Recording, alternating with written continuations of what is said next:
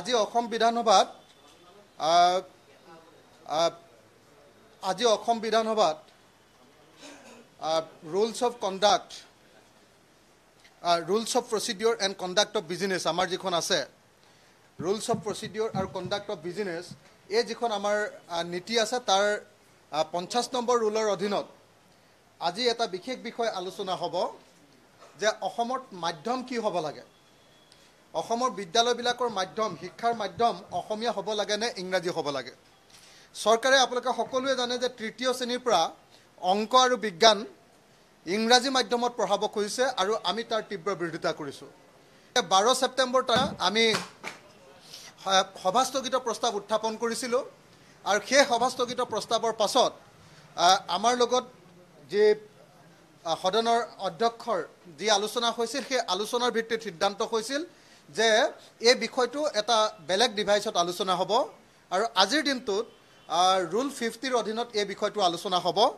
গতিকে অসমৰ মানুহৰ কাৰণে আজি এইটো এটা অত্যন্ত গুৰুত্বপূৰ্ণ বিষয় যে অসম চৰকাৰখনে এই যে পাৰদৰ্শীকৰণ বন্ধ কৰিব খুজিছে সম্পূৰ্ণৰূপে এইটোৰ ওপৰত আজি আলোচনা হ'ব। অসম চৰকাৰখনে আপোনালোকে সকলোৱে জানে যে প্ৰত্যেকখন জিলাত পাঁচখনৰ পৰা দহখন ইংৰাজী মাধ্যমৰ বিদ্যালয় খুলিব খুজিছে। এইটোৰ ওপৰত আলোচনা হ'ব। আপোনালোকে সকলোৱে জানে যে অসম চৰকাৰখনে ইনফ্ৰাষ্ট্ৰাকচাৰৰ কাৰণে মানুহৰ পৰা ছাত্ৰ ছাত্ৰী প্ৰাক্তন ছাত্ৰ ছাত্ৰীৰ পৰা টকা লোৱাৰ সিদ্ধান্ত লৈছে। এই বিষয়বিলাক আজি আলোচনা হ'ব। আৰু অসমত আচলতে শিক্ষা ক্ষেত্ৰত কেনেকৈ উৱলি গৈছে অসম চৰকাৰে কেনেকৈ গুণগত শিক্ষা দিব পৰা নাই এই গোটেই বিষয়বিলাক আজি আলোচনা হ'ব। গতিকে আজিৰ দিনটো এই আলোচনাটো অত্যন্ত গুৰুত্বপূৰ্ণ। আৰু সেইকাৰণে মই অসমবাসী ৰাইজক এই আলোচনাটো চাবৰ কাৰণে এই আলোচনাটোত শুনিবৰ কাৰণে মই সকলোকে আহ্বান জনাইছোঁ আৰু আমাৰ পিনৰ পৰা পূৰ্ণভাৱে চেষ্টা কৰিম। আমি আজি পূৰা সাজু হৈ আহিছোঁ পূৰ্ণভাৱে চেষ্টা কৰিম আৰু মই আজি অধ্যক্ষ মহোদয়কো এতিয়া গৈ অনুৰোধ জনাম যাতে যথেষ্ট সময় মোক অন্ততঃ আলোচনাটোৰ কাৰণে অনুমতি দিয়ে। কাৰণ মই সম্পূৰ্ণ আজি সাজু হৈ আহিছোঁ আলোচনাৰ কাৰণে যাতে আমি এই মাধ্যমৰ বিষয়টো আজি ভালকৈ আলোচনা কৰিব পাৰোঁ। দ্বিতীয় আজি চাৰিখন বিল চাৰিখন বিলৰ ওপৰত চাৰিখন আপোনালোকে জানে যে আমাৰ বিধায়কবিলাকৰ মূল কামটো হ'ল আইন তৈয়াৰ কৰা বা আইনৰ সংশোধন কৰা। এই যি আইনৰ সংশোধনী আজি আনিছে তাৰ চাৰিখন বিলৰ ওপৰত চাৰিখন বিধেয়কৰ ওপৰত মই সংশোধনী আনিছোঁ। আৰু তাৰ ভিতৰত আটাইতকৈ গুৰুত্বপূৰ্ণ যিখন বিধেয়ক আহিছে এইখন হ'ল অসম পুলিচ আইন দুহেজাৰ সাত। অসম পুলিচ আইন দুহেজাৰ সাতত এইবাৰ এটা ভয়ংকৰ সংশোধনী অসম চৰকাৰে আনিছে। এই ভয়ংকৰ সংশোধনীটো কি জানেনে? ভয়ংকৰ সংশোধনীটো হ'ল যে ছুপ্ৰিম কোৰ্টে কৈছিলে যে মানে দায়বদ্ধতা আয়োগ পুলিচে যে বেয়া কাম কৰে পুলিচে যে বেআইনী কাম কৰে তাক চাবৰ কাৰণে এখন দায়বদ্ধতা আয়োগ থাকিব লাগে। ৰাজ্যিক পৰ্যায়ত আৰু জিলা পৰ্যায়ত। এতিয়া আজি জিলা পৰ্যায়ৰ যি দায়বদ্ধতা আয়োগ সেই দায়বদ্ধতা আয়োগত আগতে দুহেজাৰ সাত চনৰ যিখন পুলিচ আইন তাত মানে জিলা পৰ্যায়ৰ যিখন দায়বদ্ধতা আয়োগ আছিলে সেইখন আজি বদলি কৰি দিব খুজিছে আগৰ আমাৰ অসমৰ দুহেজাৰ সাত চনৰ অসম পুলিচ আইনত কি আছিলে জানেনে? দায়বদ্ধতা আয়োগৰ অধ্যক্ষ হ'ব লাগে প্ৰাক্তন জিলা ন্যায়াধীশ।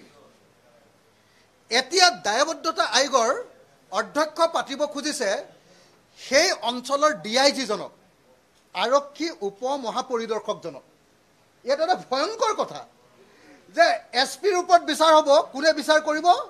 ডি আই জিয়ে ডি আই জি নিজে সেই ঘটনাটোৰ লগত জড়িত থাকিব। সেই ডি আই জিকে মানে উদক ভেটাৰক্ষীয়ে পতা বুলি কয় যে সেই ডি আই জিকে অধ্যক্ষ কৰি তাতে দায়বদ্ধতা আয়োগ গঠন কৰিবলগীয়া কৰিব খোজা হৈছে। তাতকৈ ইণ্টাৰেষ্টিং কথা যে ডি আই জিৰ তলত কাক কাক ৰাখিব খোজা হৈছে সদস্য? ডি আই জিৰ তলত সদস্য ৰাখিব খোজা হৈছে এম পিজনক ডি আই জিৰ তলত সদস্য ৰাখিব খোজা হৈছে চাৰিজন M L A D I zero তলত সদস্য ৰাখিব খোজা হৈছে পঞ্চায়ত আৰু মিউনিচিপালিটিৰ চেয়াৰমেনক এইটো বৰ আশ্চৰ্যজনক কথা যে ছুপ্ৰিম কোৰ্টে কৈছে যে ৰাজনৈতিক মেৰপেচৰ পৰা পুলিচক আঁতৰ কৰিবৰ কাৰণে আৰু পুলিচৰ পুলিচৰ নিৰপেক্ষতাৰ কাৰণেহে দায়বদ্ধতা আয়োগ হ'ব লাগে। আৰু আমাৰ অসম চৰকাৰে কৈছে যে দায়বদ্ধতা আয়োগত আমি আকৌ ৰাজনীতিককে ভৰাই দিম। পুলিচৰ নিৰপেক্ষতা এতিয়া বিচাৰ কৰিব ডি আই জিয়ে। আৰু ৰাজনৈতিক যিটো মানে ৰাজনৈতিকভাৱে গোটেই সিদ্ধান্তবিলাক যে পুলিচে লয় সেইবিলাকৰ ওপৰত যিবিলাক বিচাৰ হ'ব তাত আকৌ এতিয়া এম পি আৰু এম এল এবিলাকক ঘূৰাই দিব খুজিছে গতিকে এইখন এখন অত্যন্ত ভয়ংকৰ সংশোধনী। গতিকে মই আশা কৰোঁ যে আজি বিধানসভাত যথেষ্ট সময় মই এই সম্পৰ্কে আলোচনা কৰিব পাৰিম বিতৰ্ক কৰিব পাৰিম। আমি চেষ্টা কৰিম যে পুলিচৰ এই যি সংশোধনী আইনৰ যি সংশোধনী আনিব খুজিছে ইয়াক আমি যাতে প্ৰতিৰোধ কৰিব পাৰোঁ তাৰ কাৰণে চেষ্টা কৰিম। কিন্তু দুৰ্ভাগ্যৰ কথা বিজেপি চৰকাৰখনে বিৰোধীসকলৰ কথা নুশুনে। বিজেপি চৰকাৰখনে বিৰোধীসকলে অনা গুৰুত্বপূৰ্ণ সংশোধনীসমূহ মানি নলয়। বিজেপি চৰকাৰে সংখ্যাৰ জোৰত তেওঁলোকৰ আইনবিলাক পাছ কৰি লৈ গুচি যায়। বিধেয়কবিলাক আইনত পৰিণত কৰে।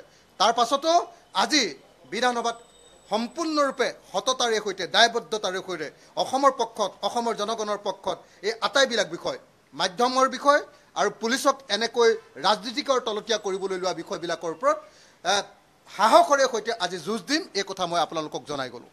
ধন্যবাদ।